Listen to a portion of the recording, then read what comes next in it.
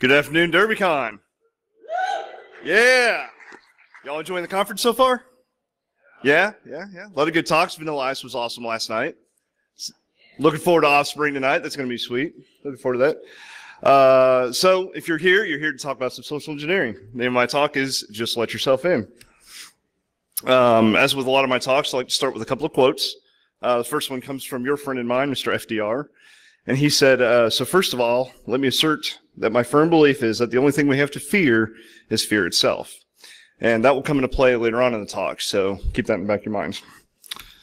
The second quote comes from a video game called Portal 2, and that is The Cake is a Lie from uh, GLaDOS there. That will also come into play a little bit later on. So, a little bit about who I am. Uh, nothing really important there.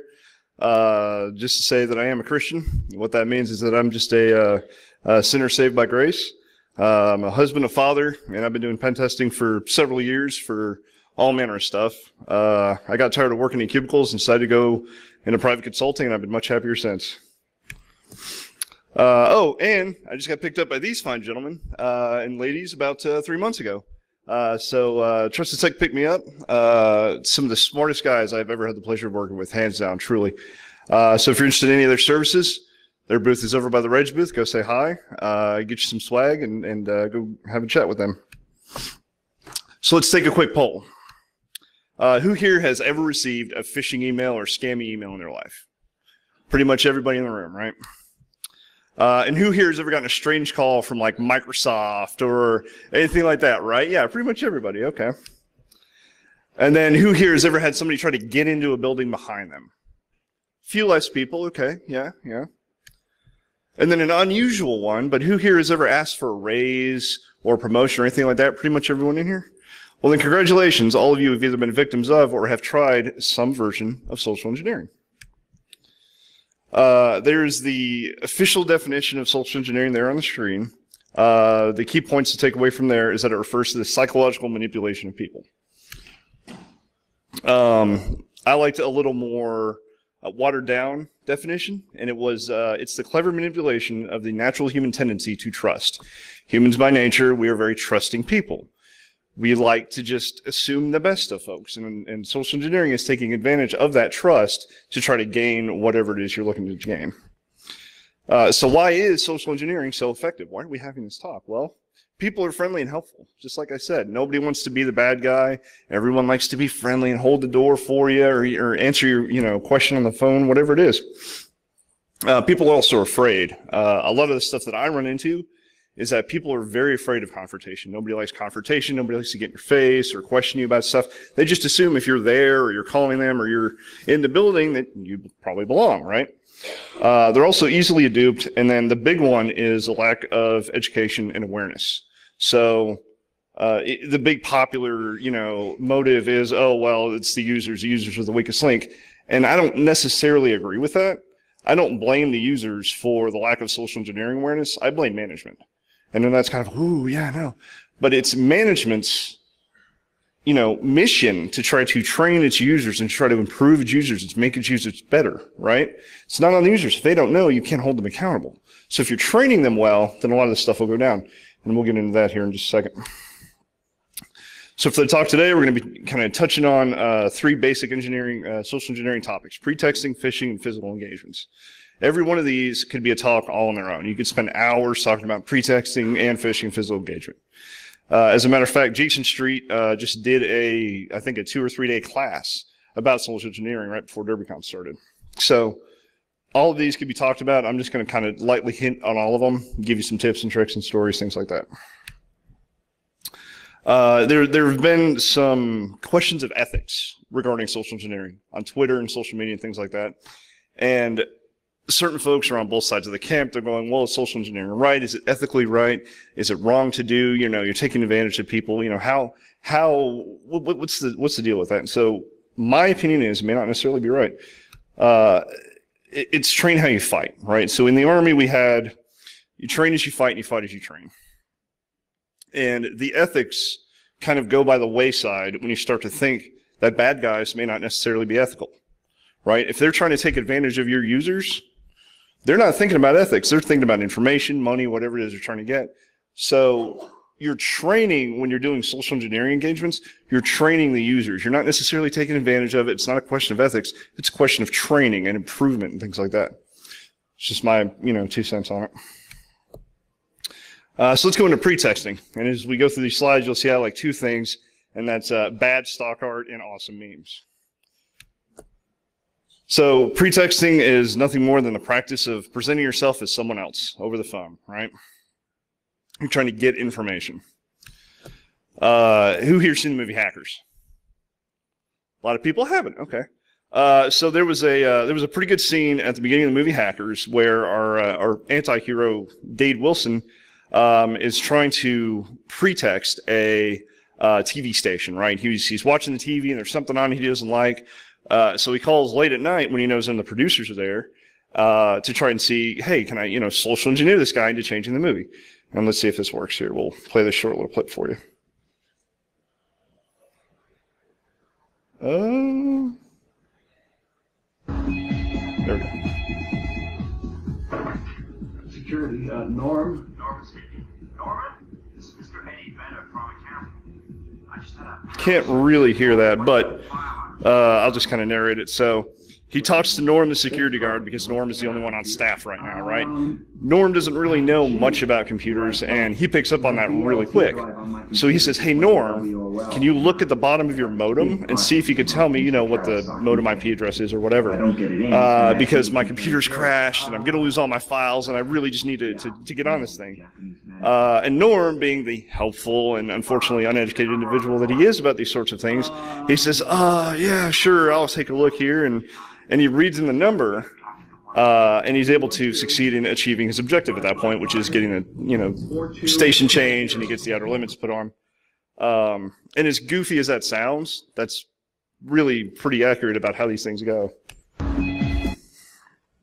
Um, and we talk about uh, pretexting and phishing and voice voice phishing uh, because there there are incidents like this, right?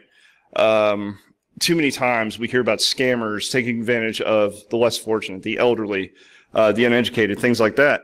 Uh, and they're scamming them and they're winning. They're getting money. They're getting credit card data. They're getting, you know, grandma to send them, you know, Apple iTunes gift cards, right? They're taking advantage of people that just don't know. And so if we can help educate and improve our user awareness as well as our families and stuff, some of this stuff will help get taken down.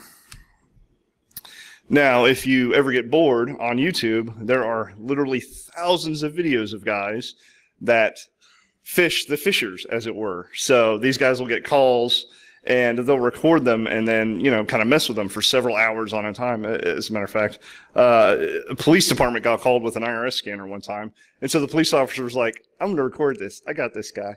Uh, and leads him on and leads him on. And finally, he's like, by the way, this is like the Dade County Police Department or whatever. And the guy's, uh, oh, whoops, hangs up pretty quick. So that was pretty good. So how do you prepare for a pretexting engagement, right? Uh, where do you get these phone numbers? How, how are people finding this information? Uh, you can go to the company website of your target oftentimes. You go to the contact us page. There's all the phone numbers you could ever want right there. Um, you can go to a company directory. If you call like the 800 number, uh, it'll tell you over the phone, hey, here's the company directory. Press one for this guy, two for that guy. Uh, LinkedIn will oftentimes have contact us information, Facebook, Twitter, any of the social, you know, uh, uh, social media sites will have that stuff. Uh, some of the tools you could use, uh, there's the burner app, uh, the spoof card. there's a program called Asterisk. you can get a Google Voice number for free and use that um, if you're worried about your, your phone number getting compromised. there's VipRoy. you can go down to Walmart for 60 bucks and buy a burner phone with some minutes on it and just make all the calls you want and throw the phone away. Um, or really and truly just star 67 from your own phone. Just block your number. A lot of places are not checking for blocked numbers. They just pick up the phone. They're not looking at who's on it and they start talking. You get them to pick up the phone, you're already halfway there. Uh, so some ideas for pretexting, for trying to get your information, right? Uh, you can clone a company's website, try to get some folks to go to it, say, hey man, can you, you know, check this link for me real quick? Um, you can drop a, uh, you know, headless device, little malicious device on site, um, and start calling people and saying, "Hey, you know, I'm from IT. Uh, I need your password to do this thing, or you know, something's broken." Uh, you can imitate an employee and call the IT desk and say, "Hey, I'm John Smith, and my password's not working. Can you reset my password? As funny as it sounds, that actually works. Um, and then the other ones, you can imitate IT and you need to check something. Uh, or you can even say, hey, I'm a new employee. I'm not sure what the procedure is about this. I'm kind of lost. Can you help me out? You know, help me with my password. Uh, so we're going to do a demonstration, and I need a volunteer from the audience. Yay, there we go. Either one of you, whoever wants it. You'll go for it? Okay, very good. Yeah, come on up, come on up. So what's your name? Fred. Everyone give a big hand for Fred for me. All right, now, Fred, so we're going to do a little role playing. These are actual engagements that actually happen, okay? Uh, and Fred, your job is to be, uh, let's see, for this one, uh, you're a tired, you're tired, uh, uh, older lady. It's Monday morning. You haven't had your coffee yet. Things are just kind of dreary, okay? Okay, You so, for so just normal. Just okay. So you're gonna be reading Karen's lines. Can you read that? Okay. Yeah. All right. So I'm me and you're Karen. Okay. So ring ring. Uh, hi, thank you for calling Generic Company. This is Karen. Well, hey Karen, this is John from IT. How you doing this morning? Oh, I'm good. I'm good. Uh, it's, it's been a little busy, but I know Mondays always seem so awful, and this just rain isn't helping anything. yeah, yeah. It always seems uh, mood just gets way down there after a good weekend. Man, I am so sorry to hear. So, hey, listen, not trying to take up too much of your time, but we've been getting a lot of folks having issues logging in this morning. Have you been having any sort of login issues, black screens, passwords wouldn't work, printers garbled, anything like that? A lot of generic terms, right? Like folks aren't expecting that stuff. Login issues? Uh, no. Hey, uh, Marcia, been having any login issues? You can play Marcia too. No login issues, but the printer hasn't been working right since Thursday. Oh yeah, uh, that's right. We we called you guys about that. Any updates? Oh yeah, no problem, no problem. Let me just pull up that ticket, tappity tapping, tapping on my keyboard, right? And I say, oh hey, it says right here that uh, it's not been printing, and you're getting a, a printer that can't connect, some kind of error, or something like that. Yeah, yeah, that's right. Uh, none of us can print from this one. We we got to use the one in JP's office. Okay, you know what? Yeah, we want to fix it. We want to get you guys back up and running. So let me recreate this issue. Uh, if you don't mind, let me get your username and password. Uh, I can then reproduce the issue on my end, and uh, we can see if we can't expedite a fix. Oh, uh, do you do you need that to fix it? You you already have my password, right?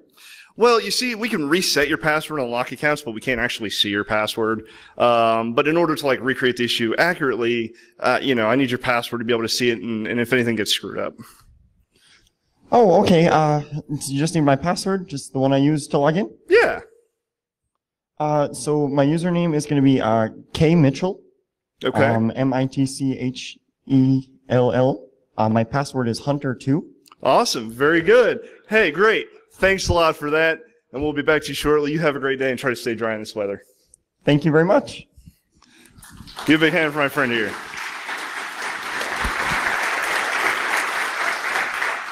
So that's one that went very well for me, and that's actually how it went. And unfortunately, it went very well. Uh, we were able to get a password, and from there, we were able to just start, you know, just tearing through the network with no issues, right? Does it sound stupid? Yes, it does. Does it work? Absolutely. Uh, last year, over 20% of the people that I called gave me their passwords freely over the phone uh, after a less than five minute phone call. Uh, and that doesn't seem like a big number, but in uh, uh, an organization that has 100 people, that's 20 people. So something to think about. Uh, so here's one that didn't go so well for me, and I need one more uh, volunteer. Come on up.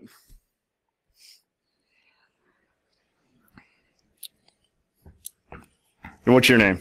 Mary. How about that? Let's give a big hand for Mary for me.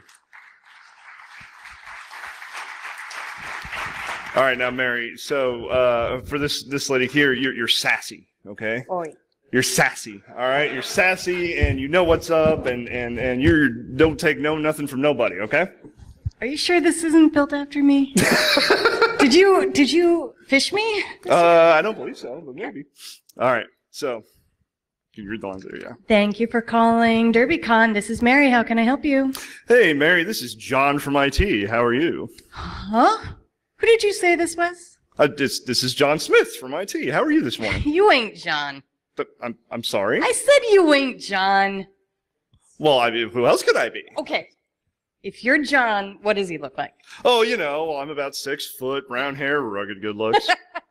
You're You cracked me up. You ain't John though, So I'm, I'm sorry, Mary. I'm, I'm confused. Why, why do you think I'm not John? because John is sitting right here in front of me. Nice try. Now who's this? Bum, bum, bum, bum. Thank you so much.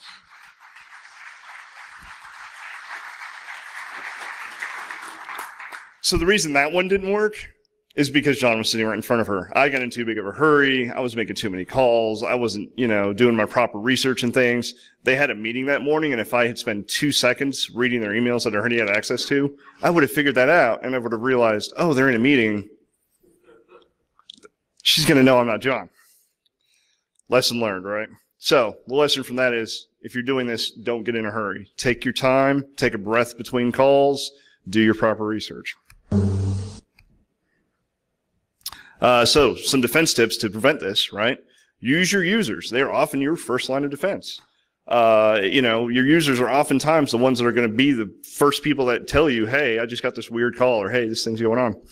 Uh, uh, one that I've not seen, uh, you know, it's not very popular, but that I would highly recommend is a callback system, right? If they get a phone call and they're not 100% sure of who it is, say, hey, if it's cool, let me get your number and I'll call you back, right? Um, and then a company-wide alert system. A lot of companies aren't doing this either. Um, if you have a company-wide alert system and there's an incident, whether it be some strange dude walking around or a phishing email or weird phone calls, whatever it might be, if you have a company-wide alert system and you tell your whole company, hey, by the way, this phishing email went out at 8 a.m. this morning. Keep your eyes out and alert IT. I promise you, you're not going to get as many clicks. Your users are going to be more aware. Their ears are going to perk up. Their eyes are going to open a little bit. And in the drudgery of their day-to-day stuff, they're going to go, you know, I did get a strange call this morning. I should probably report that. Then you can start kind of doing logging and checking and things like that. Um, and then reward good behavior. Uh, we want our users to help us, right? Uh, so reward good behavior. Give them a gift card to Starbucks, whatever it is, right? 20 bucks is 20 bucks. But then, you know, they get it in their head. Oh man, I did something good. I'm going to be rewarded. It works. So let's talk about phishing. Uh, so what is phishing? And this is email-based phishing that we're talking about. Uh, and it's an attempt to acquire sensitive information, right? You want usernames, passwords, credit card data, whatever it is. Uh, phishing is not that, unfortunately. Uh, you've got different types of fishing. You've got spear phishing, like a boss. Uh, whaling.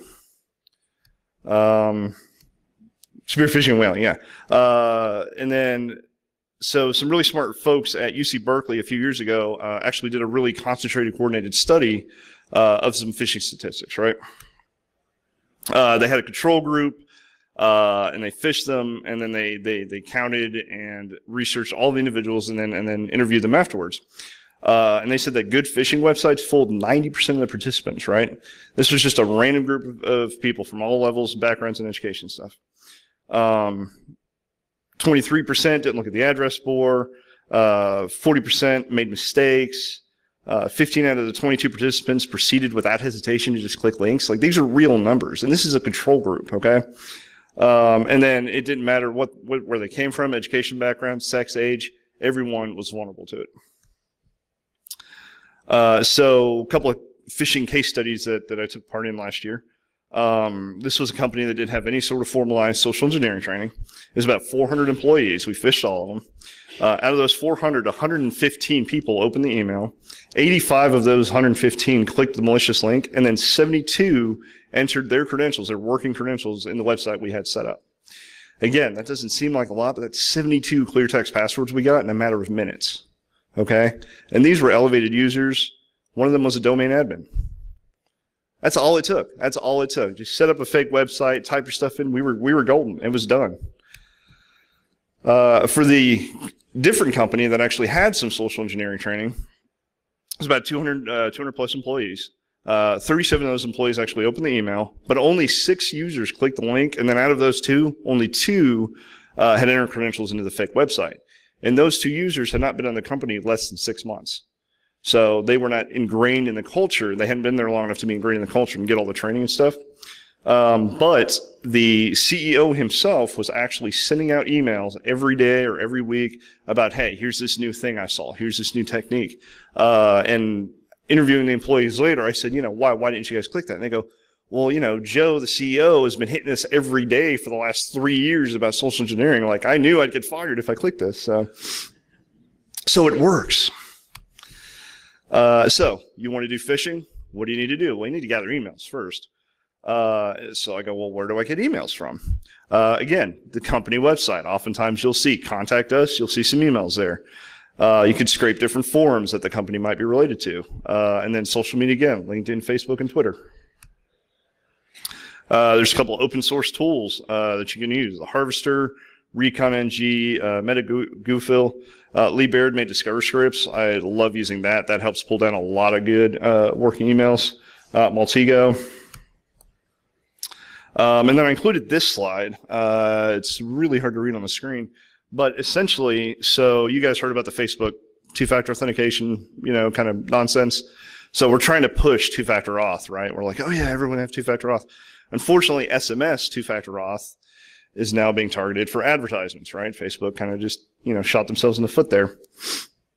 Uh, I thought this was a really good fish. I saw this uh, a, few months back, and essentially what it was is a guy, uh, you know, was was trying to get into a to a site or something, and he found the user's uh, phone number, but it was two-factor auth. It was using, you know, one of the the off-shelf two-factor auth things. So he goes, "Hey, you know, let me text this person and see if I could just kind of, you know, social engineering them." So he said, "Hey." uh, you know, this used to be my old number, and unfortunately, I'm trying to get into this site. Is it cool? You know, it's going to send you a code. Is it cool if you text me back that code? And they were like, yeah, sure, it's fine. I understand. Like, you got a new number.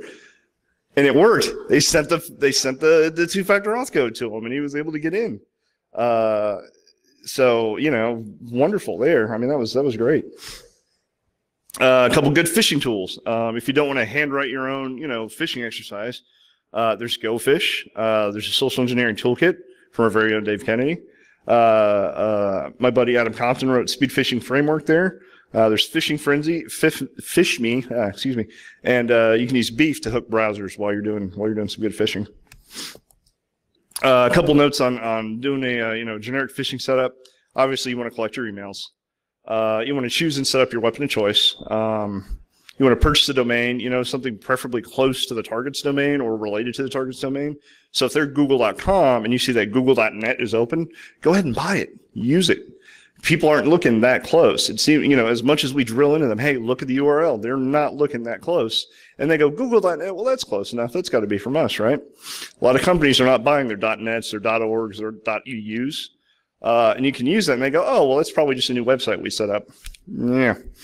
Um, and then some other some other stuff about getting a you know a good certificate from like Let's Encrypt, and then you want to craft a good web page and then craft a good email. So what makes like a good email? What makes a good fish? Uh, you know, I just chose three things: authenticity, legitimacy, and relevancy.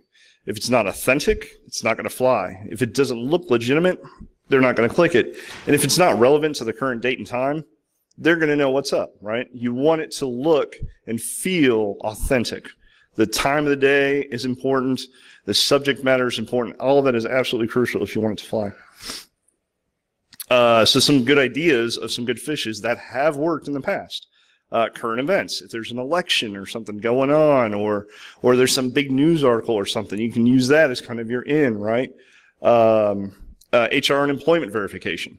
Hey, I'm from HR and I need to, you know, verify this employee. Is it cool? Can you give me this information? Um, any kind of benefits setup or 401k increase. The 401k increase is a really, really popular one. That's a big one uh, because who doesn't like more money, right? You send out an email and you say, hey, you know, this is the benefits company and we're sending, you know, a 401k 15% company matching increase or whatever. Like everybody in the brother's going to click that. Why, you, why not? Free money? Heck yeah. Um, a birthday setup, that works. You go, hey, by the way, it's Tara's birthday, which you found on LinkedIn, by the way. And you go, and we're going to throw her a surprise party.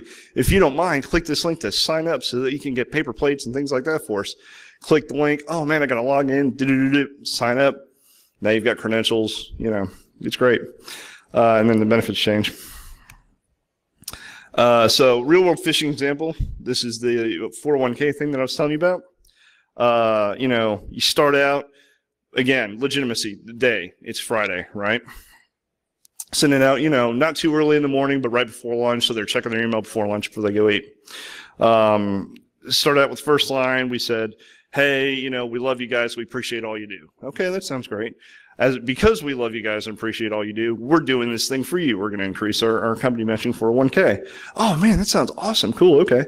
Uh, if you don't mind, just click this little link for me here. Log in with your credentials, and then you can select your company matching thing the link looked correct. When you hovered over it, it looked like uh, a domain that the company might have owned. Uh, and that was where we got, you know, 97 clicks or whatever it was. And then you say thank you and have a great weekend. And you say, hey, it's company name, membership benefits team, you know, and then a made up, you know, 401k company. Uh, this is a failure. This is an example of a failure of a bad phishing um, email that has gone out. You can see need extra cash drive with Lyft. Woo. But you look here and it says direction.lt, whatever, junk dot junk dot junk. Uh, and you know, Google even marks it as spam. So, I mean, they're not even trying with a lot of this stuff, right? But you go and you follow that link and you find out that it's actually trying to hook your browser and do, do a bunch of bad stuff.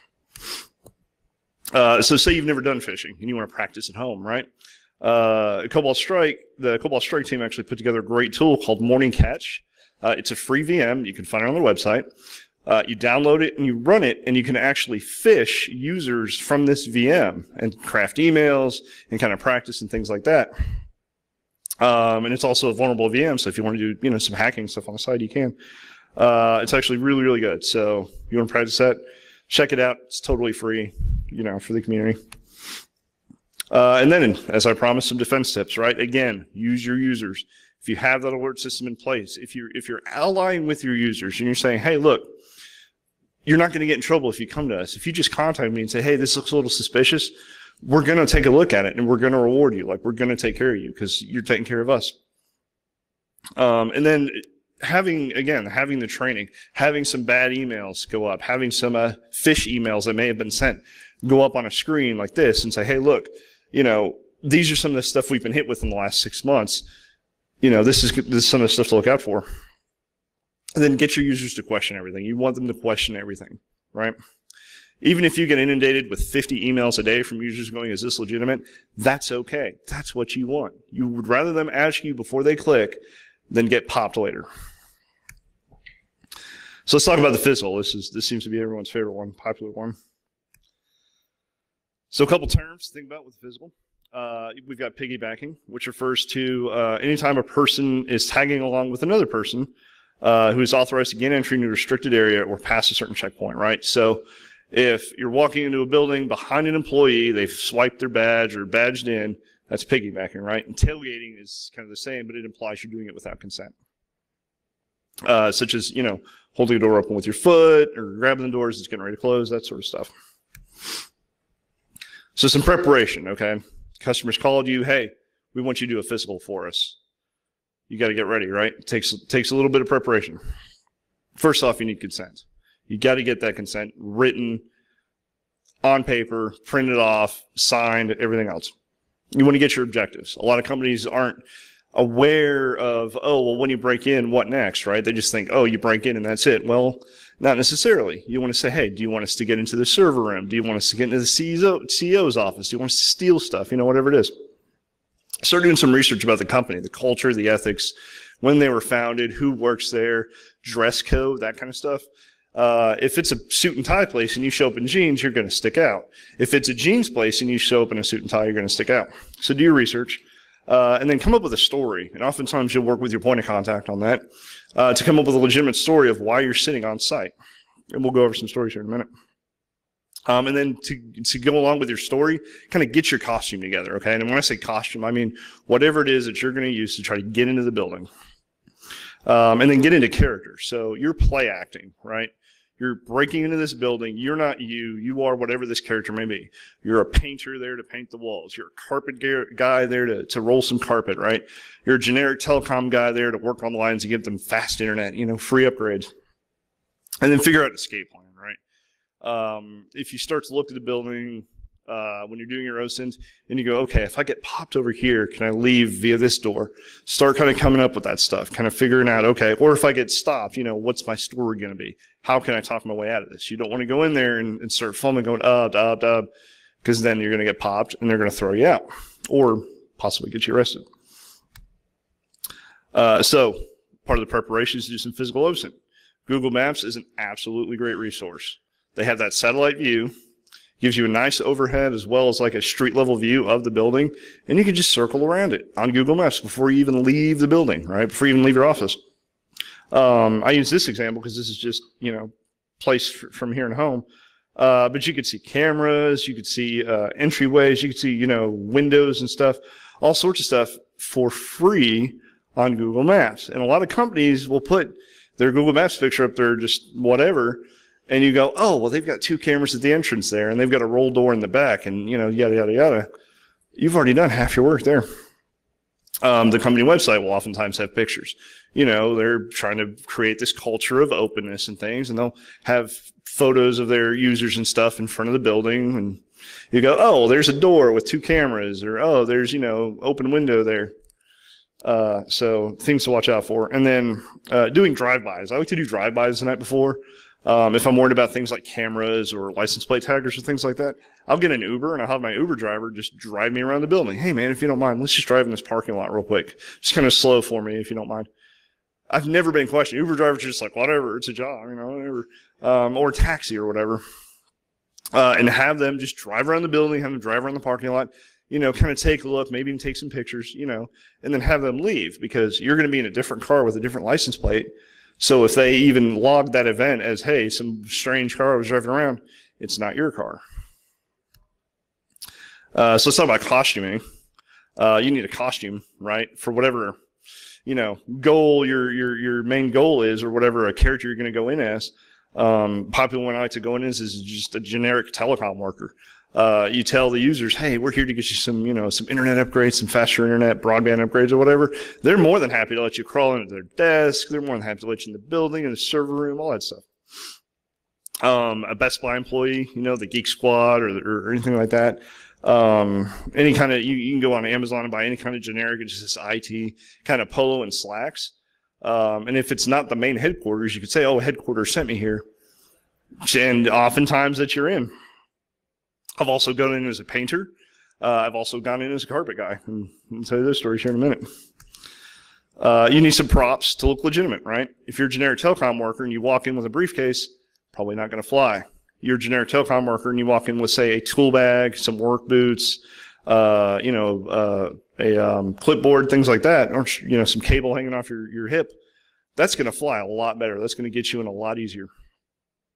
Um, and then going on and buying a, uh, you know, a set of measuring tape and things like that to kind of, you know, keep on your hip, even though you're not going to use it, that adds to the legitimacy of the character that you're trying to sell.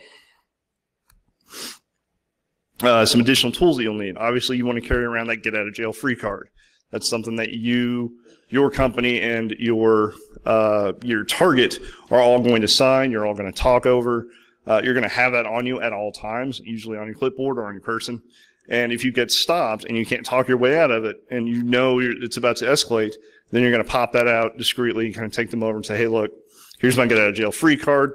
Uh, it's going to say things like the company name, what you're there to do, your point of contact. Very important side note with that too. Have your point of contact have their phone on at all times and available.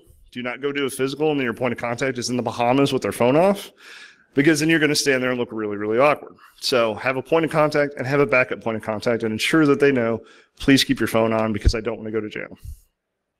Um, uh, and then, and then carry around your nefarious stuff. Uh, you've got lock picks, um, a lot of the Hak5 tools like the rubber ducky, the LAN Turtle, uh, things like that. Uh, carry around a small flashlight. Um, you'd be surprised how many uh, closets I have found myself hiding in, uh, or dark offices I have found myself hiding in that if I turned the lights on, they would have got me. But because the light was off and I was behind the door, then I was able to kind of sneak around and do whatever I needed to. Just carry around a small flashlight with you. Um, you can go on to like Sparrows or Fools to buy some lock picks, uh, some Lloyd tools, things like that. Uh, a can of compressed air. Uh, oftentimes there's locks. You can do the compressed air trick and uh, blow compressed air up into the lock and it'll, it'll pop it. And I'll show you a cool video about that. Um, and then going online and buying uh, some some faux prox cards, some fake prox cards, right? These are ten bucks. You can buy a pack of fifty of them, and then you carry that with you on your hip uh, you know, on a badge or something. And then when you're trying to badge into these maglocks and they're like, oh man, my badge doesn't work. I don't know what happened. Oftentimes people go, oh, your badge doesn't work. Come on in. Sorry about that. Yeah, yeah, they're sending me a new one. Sounds stupid, but again, it works. Um, uh, Inc. Uh, Inc.com actually uh, did a video with uh, David Kennedy and Paul Koblitz. Uh, it's a nine-minute video, so we won't watch it here, but uh, it's really interesting uh, watch. So go check it out. It's on YouTube. Um, they actually break into, I think, a Fortune 5 company um, with the Inc. reporters. And, you know, obviously this was all consensual. But the Inc. reporter's just stunned the whole time. He just could not believe how easy it was for these two guys to just walk into the building freely, drop their, you know, drop the nefarious device and walk out. Didn't get stopped once. Uh, so if you kind of want to see uh, some more of the thought process in like a real time uh, uh, physical pen test, go check that video out. So let's get into some stories. I'm calling the first one the financial job. Uh, and that was a you know a nice little cartoon that kind of you know describes what happened there. And uh, this is kind of what it looked like in, in person. So uh, I was hired by a, a large financial institution. Uh, they said, "Hey, see if you can get into our buildings, and if you can, see if you can get behind uh, the teller area to where the money is." And I said, "Okay." So I did my OSINT. I started, you know, driving around, looking at the buildings, and I realized they had cameras at um, uh, license plate level. So they were, you know, taking pictures of license plates as people were driving in and out. Um, I had looked on Google Maps and I'd seen that, you know, everything was locked down pretty good. They had cameras everywhere. You know, it, it's it's a financial institution. It's not it's not going to be easy to break into. Oh, okay, I can't climb on the roof. I can't break any windows or anything like that because you know it's just not going to go good. So I thought, okay, let me just walk in the front door and see what happens, right? So I decided that my way in is going to be the generic telecom worker. I grab my tool bag, my work boots, dusty jeans, generic polo, and I just walk in there, you know, like I own the place. Um, I go to the first lady and I shake her hand and I say, Hey, I'm from this generic telecom company. I'm here to do some work. Uh, we've got to take some measurements because uh, they're they're dropping some more lines in to get you guys some better internet. And shook my hand. She said, "Oh yeah, sure, come on back." Open the teller area for me and just let me walk on back in there. Uh, and I'm laying tape measure and taking pictures of me dropping rubber duckies and things like that. Was not questioned. They just assumed I, again, I just assumed I was there and I belonged there. Uh, right by the money, right by the checks, right by the safe, the vault and stuff like that. Uh, and then walked back out. And I asked the, uh, you know, I asked the point of contact later, I said, Hey, you know, why was that so easy? He goes, well, unfortunately that branch does not get, um, as good a training as, you know, some of our other branches. And we knew that was an issue. Um, so all in all, I was able to just walk into a bank off the street, just Joe Schmo, do whatever I wanted for five, ten minutes and then leave. Uh, so unfortunately, that one didn't go well. Now, at another branch, I did the exact same thing.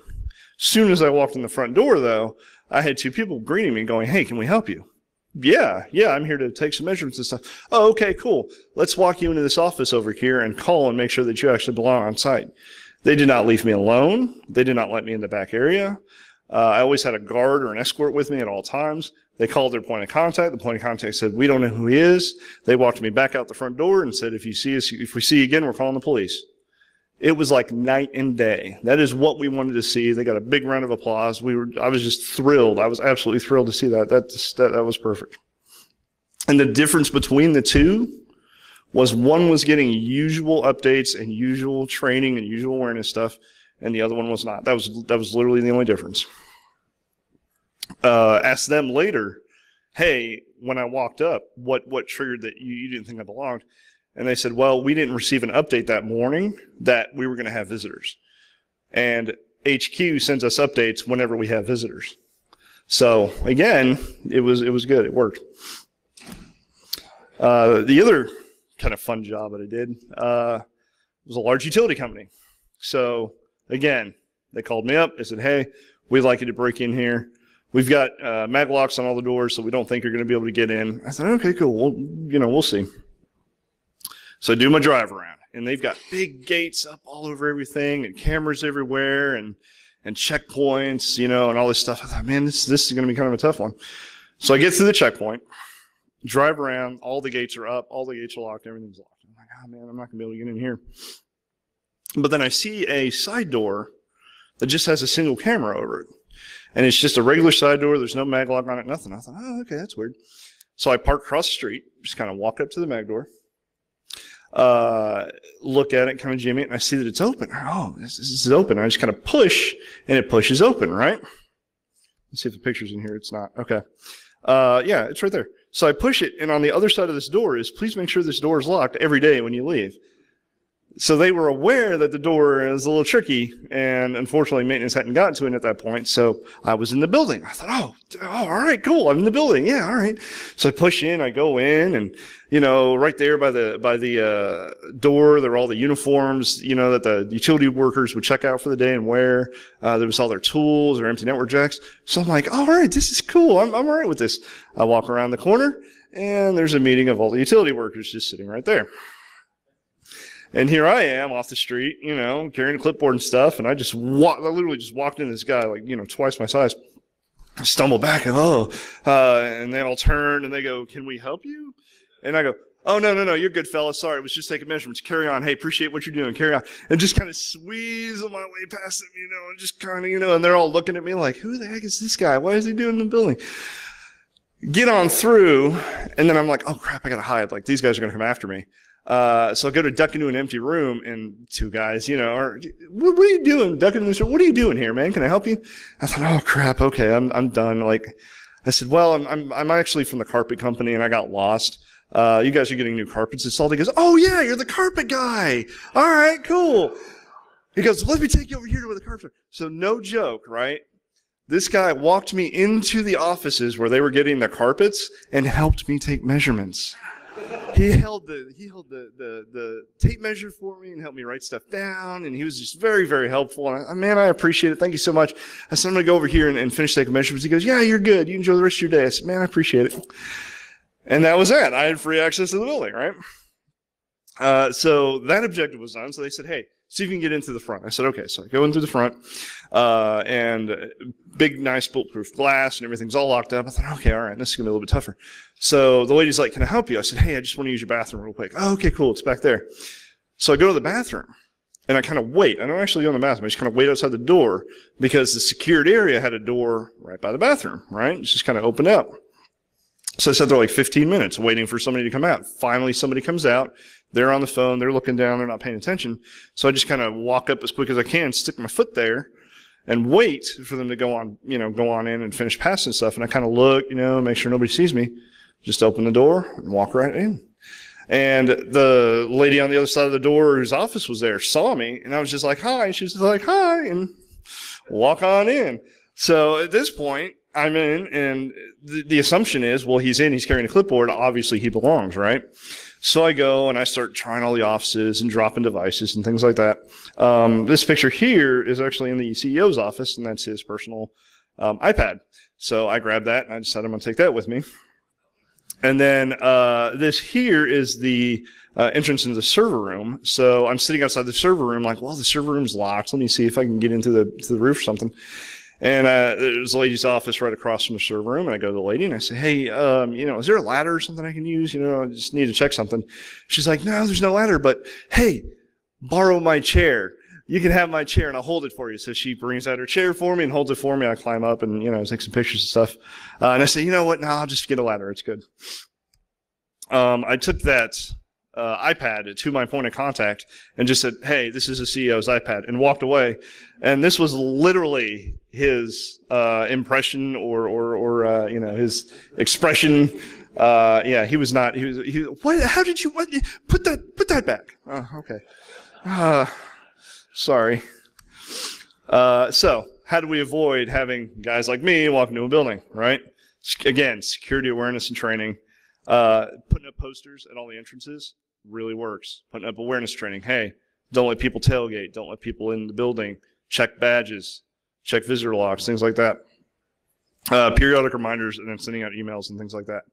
Uh, you know, some C-level guys, they know that security awareness is a big issue, and they're just like, eh, it's fine. We need money for other things.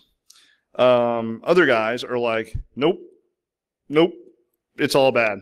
We just need a panic button. It's all bad, right? And those are the ones that I've always had an impossible or really hard time trying to break down. I couldn't get any phishes, couldn't get any calls, couldn't get in the building. And then the biggest thing to take away from is safety, right? The safety of the employees is absolutely paramount. You've got computers, you've got iPads, you've got all this stuff, right? And that's all that's all well and fine. That can all be replaced, but human life cannot be replaced. You don't know who that guy is walking in off the street that's trying to get into your building. And the safety of the employees is 100% the most important thing. If you know that tailgating is a problem, you know that people are just walking in your in your back door, and he's got a pile of donuts, and your employees are like, "Yeah, let him in. He's got donuts," or "Yeah, let him in. He's got a clipboard." That is a huge safety concern. Never mind the equipment. Never mind the loss of data. None of that stuff. The safety of the employees is absolutely paramount. So you want to social engineer. Well, how do you be good at it, right? Confidence is key. It's the big thing. You need to, if you're act, if you are that part, you need to act that part. You need to know you are that part. You were that painter. You were that whatever. You were that guy. Uh, spend some, spend a lot of time doing some open source intelligence gathering. Really kind of dig in and do your research. Spend a few days kind of taking a look at this stuff. Uh, take lots of notes, right? Don't forget times and dates and names and things like that because it's going to trip you up when the rubber meets the road. And then practice, as stupid as it sounds, practice with a spouse, practice with a friend, practice from the mirror, you know, really get your, really get your, your mind getting into that because you're play acting, really getting into that character. Uh, some additional training. Uh, there's lots and lots of YouTube videos. There's lots of pictures and, and videos of folks breaking into buildings or doing phishing or, or talking about pretexting, things like that. Uh, Joe Gray, uh, Christopher Hadnagy actually wrote the book on it, wrote a book on it. Uh, Jayson Street does some training. Uh, Kevin Mitnick, we all know him. He wrote several books on it. And then come to conferences like this, come to DerbyCon, B-Sides, DEF CON, your local ISSA chapter, things like that. Uh, I always like to throw out some books that I like reading. Uh, again, there's Christopher Hadnagy's book there, Jayson Street's, um, and then a couple books that Kevin Mitnick wrote. So if you want to get into social engineering, go pick these up. These are absolutely 100% beneficial. They are great reads. So with that, any questions? Question there. Oh, microphone. Where did I put it? Aha. There you go.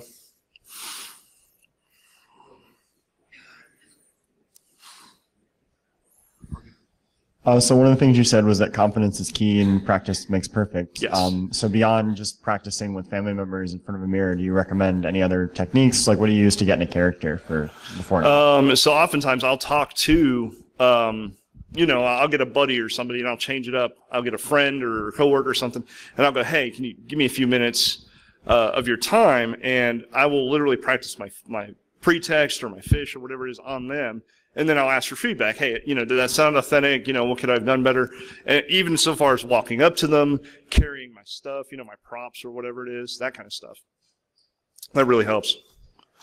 So it's kind of two part question, but it's around uh, phishing emails. So say you have a enterprise phishing campaign. Um, do you recommend a protocol procedure like say same person clicks on you know fails three times in a row, four times in a row, like implications, and then like the wall of shame, or say you like someone high up, CO, CIO, CTO, falls for the same thing. What what Well, what do you do about that, right? And that's that's actually a good question, and and I've been asked that several times. So for the first one, we don't want to shame anybody. Um, you know, it, it, it's fun here at conferences like this. We do the wall sheep and the wall shame stuff, but when it comes to employees, we want to ally with them, right? If they're failing two or three times, then you need to sit back and look at the training program, or you just need to talk to them, bring them into a conference room and go, what's causing you to click on this? You're not in trouble. You're not getting fired. I just want to know what's causing you to click on this. Why aren't you coming to us? You know, talk to us and then just talk to them and, and, and hear them out and listen to them. Um, oftentimes, at least what I've found is they just don't know, right? They just don't know, or they get in a hurry, or you know something happens. Um, we don't want we don't want employees to be scared to uh, report to IT for fear of failure, fear of, of getting you know uh, fired or anything like that. We want them to come to us with, "Hey, I screwed up. You know, I clicked this thing, whatever. What what can I do?" And you go, "You know what? That's cool. We're going to give you some remedial training. You're not getting fired. Here's some remedial training. Here's the reasons why." And then even just showing them, showing them like, "Look, these are our passwords. We got popped last week and all our passwords were just sent to this guy because, you know, A, B, and C clicked. We can't have that because we're going to get in trouble. Um, any other questions? Nope. Oh, and right there, yeah. Gotcha. Oh, good. I see the sign. Okay. Thank you guys so much for coming. I sincerely appreciate it. Thank you.